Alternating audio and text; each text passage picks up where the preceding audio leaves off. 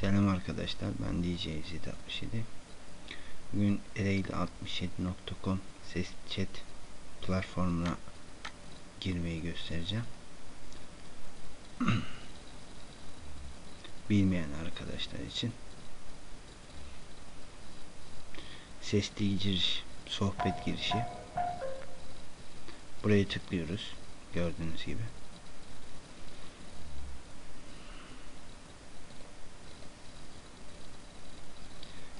sayfamız açılıyor. Buraya nickinizi yazıyoruz. Ben deneme olarak gireceğim. Bayansak bayan erkeksik erkek. Girişe tıklıyoruz.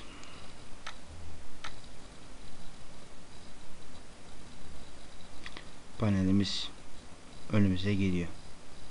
Bazı arkadaşlar paneli girdiğini sanıyor.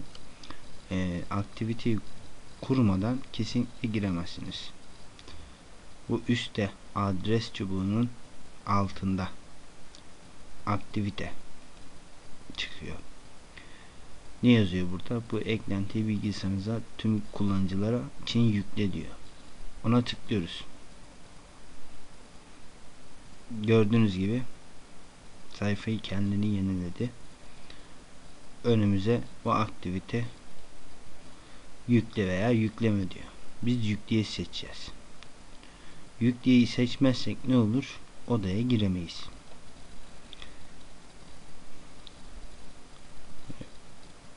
Bu tepkiyi çok aldığımız için bu videoyu hazırlamak önemli oldu. Ve yüklüyor.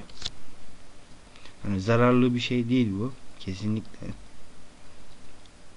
öyle düşünen arkadaşlara için söylüyorum. Çünkü bu ses ses titremi dünya kullanıyor.